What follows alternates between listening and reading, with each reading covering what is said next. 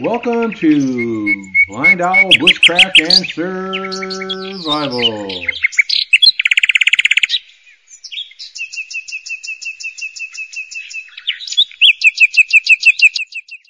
Hi, welcome to Blind Owl Bushcraft and Survival.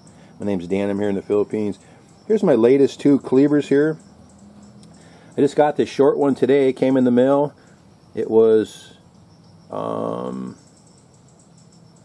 120 some pesos, so $2 and then, then shipping.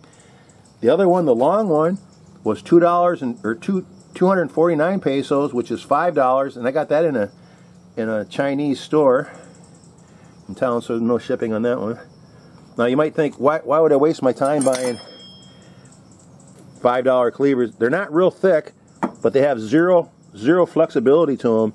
Now I thought I thought this one right here would make a nice a nice seven inch bushcraft blade, which which I know it will.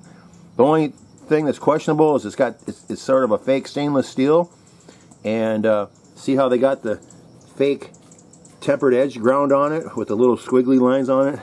Same thing with this one here. And this one here, that it's got a stamp on it. The stamp are coming through the other side.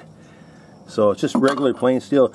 The, the only problem with stainless steel is depending on what grade it is, the stainless steel is hard to work with sometimes.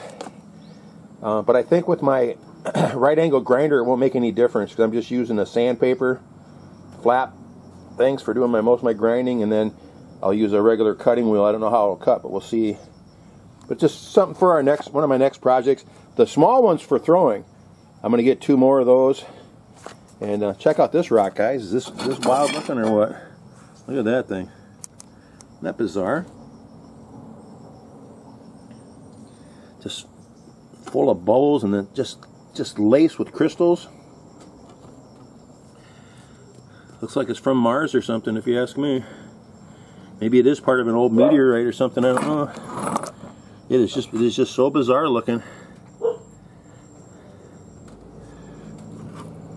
Backside's just a rock, but isn't that cool?